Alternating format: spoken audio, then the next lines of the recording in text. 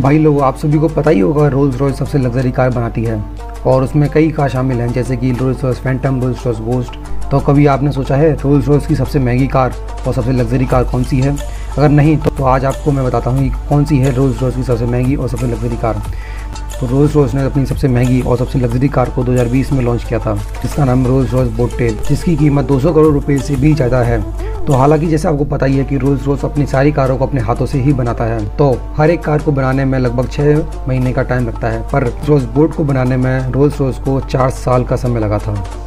Rolls Royce इसके अभी सिर्फ़ तीन ही मॉडल बनाएगा, और इसके अलावा इसमें लगी है दुनिया की सबसे फ़ेमस घड़ी बनाने वाली कंपनी पॉविक की घड़ी। जिसकी घड़ी की कीमत ही सिर्फ़ एक मिलियन डॉलर है, और ये एक लौती कार है जिसमें ये इतनी महँगी घड़ी लगी हुई है।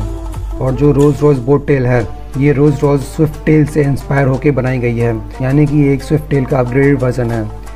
और इस कार में आपको 15 स्पीकर सराउंडिंग सिस्टम मिल जाता है, जिसे ऐसे मॉडिफाई किया गया है, जिसे आप कार को साउंड बॉक्स की तरह इस्तेमाल कर सकते हैं। और इस कार में लगा हुआ है 6.75 लीटर का टर्बो V12 इंजन जो कि 563 हॉर्स पावर की पावर जनरेट करता है। और यही इंजन आपको रोल्स रॉयस फैंटम कलीगन और ब्लैक बैच में भी देखने के लिए मिल जाता है। और वहीं बात करें रोल्स रॉयस की टॉप स्पीड की, वो है 351 किलोमीटर पर आर और रोज रोज़ बोट टेल को पूरी तरह कार्बन फाइबर से बनाया गया है, जिसकी वजह से इसकी मजबूती और इसके लुक्स बहुत ही ज़्यादा इन्हेंस हो जाते हैं।